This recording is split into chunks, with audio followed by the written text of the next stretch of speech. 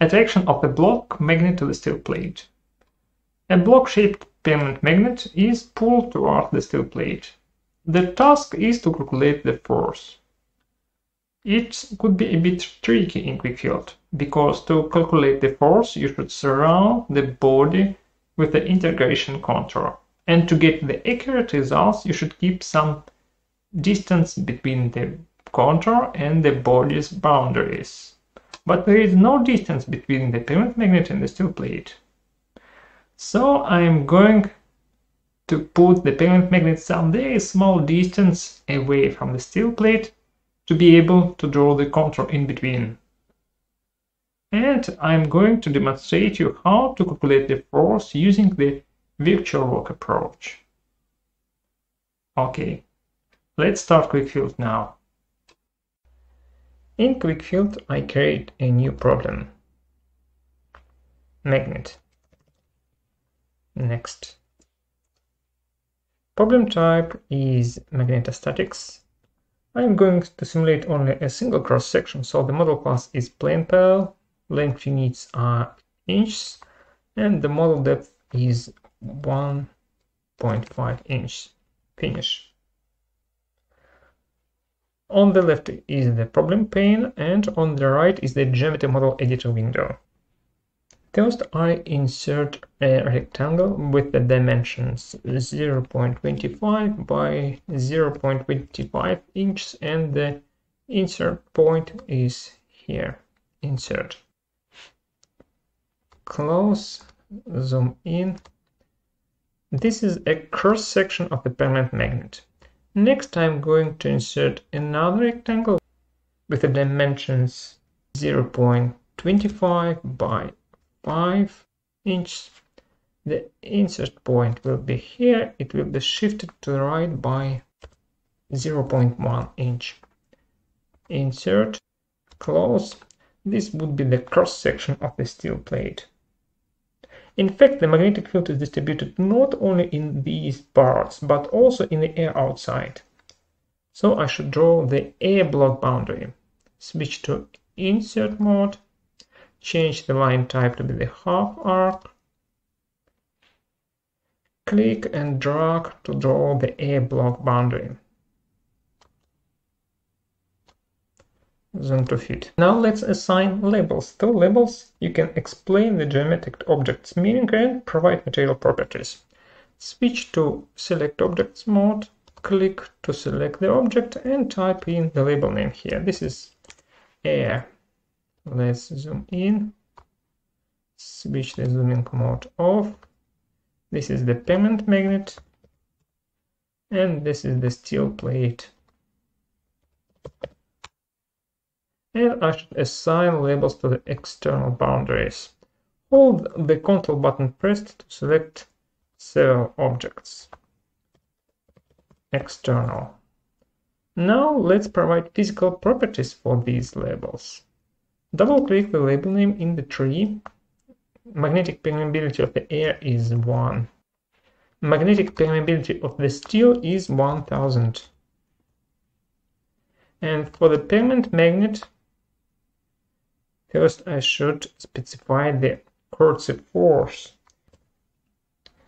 which is 954 kiloamperes per meter. And the direction is to the right, 0. To specify the remanent flux density, switch on the nonlinear flag. Here you see there is one point on the curve corresponding to the coercive force and another point is remanent flux density which is 1.26 and the field strength at this point is 0.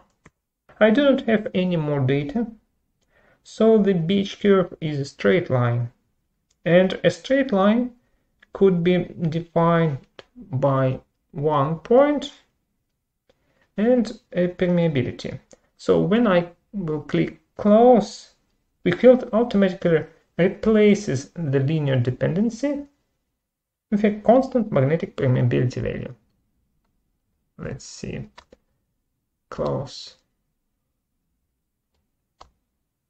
Far away from the permanent magnet, the magnetic field fades to zero, so at the external boundary I specify zero magnetic potential. Now, before I can run the analysis, I should build the finite element mesh. Just press this button and the mesh will be generated. Save all problem files and solve the problem. Let's take a look at the results. Let's zoom in.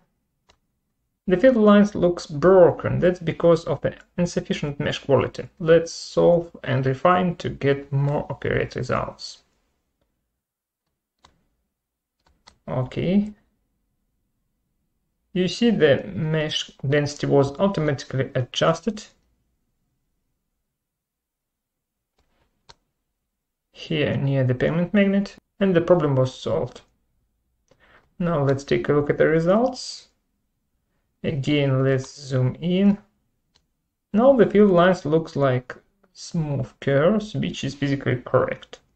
You can adjust the field picture and switch on, for example, the color map of the flux density, or choose to display some other field parameters.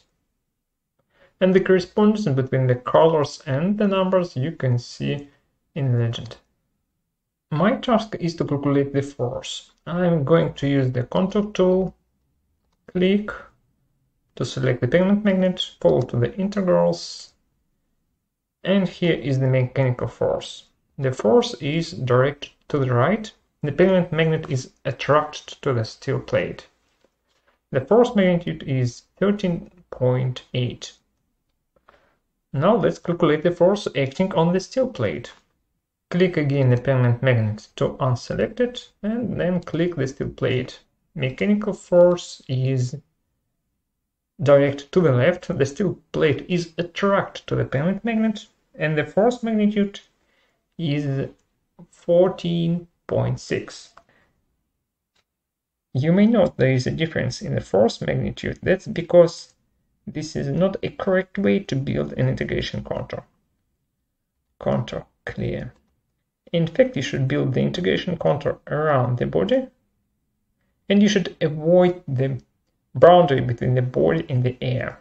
So you should build the contour in the air. The contour should be counterclockwise directed. There is no magnetic force acting on the air, so you can build the contour freely. Contour close now the mechanical force is 15.2 newtons. Let's put it here. This is the force acting on the permanent magnet. Now let's construct the contour the same way around the steel plate. Contour clear, zoom out. I'd better adjust the field picture and switch off the color map. Okay. Now I'm going to build the contour around the steel plate.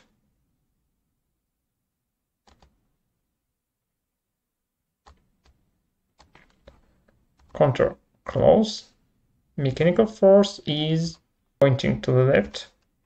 Let's copy this value, paste it here plate. Now you see the difference is really very small, less than 1%. My task is to find the force in case when the magnet is attached to the plate. But in this case, I will not be able to put the contour in between.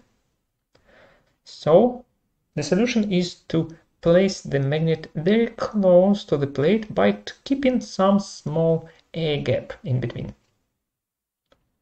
Okay, let's open the geometry model. Let's zoom in.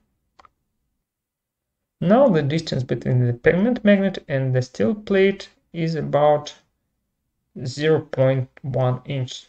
You can see the coordinates in the bottom right corner. Let's move the magnet closer to the plate or the plate closer to the magnet. Switch to select objects mode click to select the plate, right click, move selection displacement to the left by 0 0.0 995 inch. Okay. Let's zoom in. I'm going to add a small edge here to be able to measure the distance between the permanent magnet and the steel plate. So switch to insert mode and draw the line. Switch to select objects mode, click and remove this part. Now let's again zoom in, switch to select objects mode, click to select, and here you can see the line length. Okay. Let's again build the finite element mesh, save all problem files, and solve the problem. Let's take a look at the results. Now I should build the contour in the air gap between the steel plate and the permanent magnet. I better specify the coordinates manually.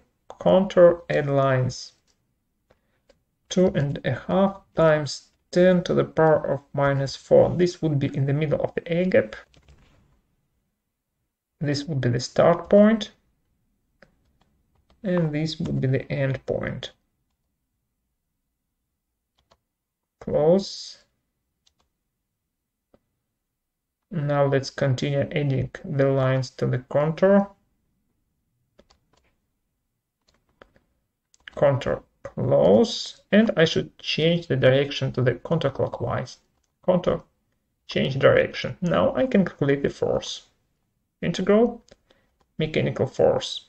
So this is the force when the permanent magnet almost touching the steel plate. Okay, now let's calculate the force using the virtual work approach. To be able to do so, I need to measure the stored magnetic field energy. Contour clear and click to select all bodies. Go to the integrals and here find the magnetic field energy. This is the energy when there is the gap of 5 ten thousandths inch between the magnet and the steel plate. Now let's open the geometry model, zoom in, and move the permanent magnet in contact with the steel plate. Click, hold the control button pressed to select multiple objects. Now Press the Alt button to start the drag and drag the permanent magnet here. Then release. Now the permanent magnet is in contact with the steel plate. Steel, permanent magnet, air. Again, let's build the finite element mesh, solve the problem, and measure the energy. Select all bodies, integrals, magnetic field energy. Copy this value. This energy for the air gap of 0 inch. And to find the force, we should calculate the energy increment and divide it by the gap length. Copy energy minus energy divided by the gap length.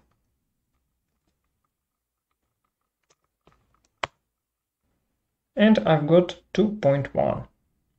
In fact, you should divide not by inches but by meters. So to get the correct value, I should divide this by 0 0.0254. Okay, and this is the force value.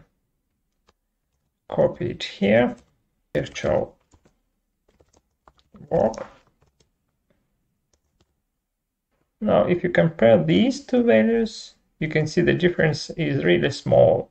So it seems you can use the small gap approach whenever you want to get accurate results. If you search for the attraction of the block magnet to the steel plate on our website, you will find the example page. Here you can read about problem setup, browse the solution section, take a look at the result pictures and download the simulation files.